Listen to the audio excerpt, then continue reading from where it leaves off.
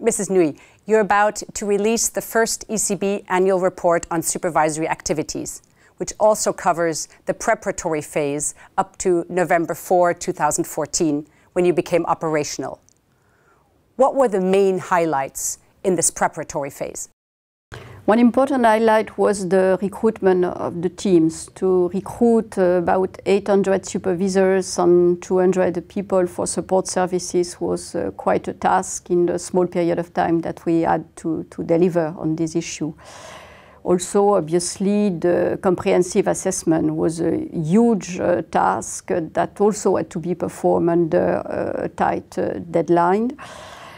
Also, uh, preparing the manual, uh, operationalizing uh, the, the, regulation, the framework, uh, regulation, creating the needed infrastructures such as uh, for IT, for example, uh, were quite a, a task.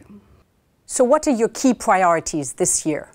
Among the priorities for this year, uh, one is very obvious, uh, draw the lessons from the comprehensive assessment to make sure that all the quantitative and qualitative information that we got through this exercise is uh, fully uh, used for supervision. Another uh, important uh, priority is also uh, to finalize our methodology to assess uh, risk in the banks and to uh, decide about uh, the additional capital buffers they, they need, the, the, Pillar 2 capital they need to face the, the risk they, they are taking. And uh, obviously, uh, we have uh, a number of other issues to, to address, policy notes to, to prepare, to make sure that banks are safer and sounder. And how about if you look ahead, you must also have some, some issues where you think, oh, we want to tackle these. So going ahead, what are the biggest challenges this year?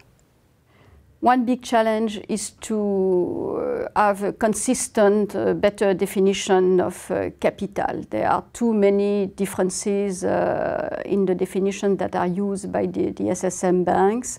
So we have to address uh, the national options on discretions. Uh, the, most of them are related to capital, but not uh, all of them. So it's a big project to make sure that we have uh, fully harmonized regulation on definition of capital uh, in Europe. Also, obviously, uh, a big challenge is to address the, non, the level of non-performing exposures.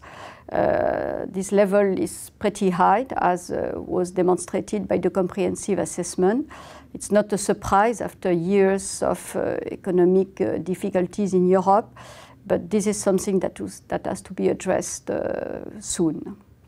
So thank you very much. I wish you a lot of um, success. Thank you again. Thank you.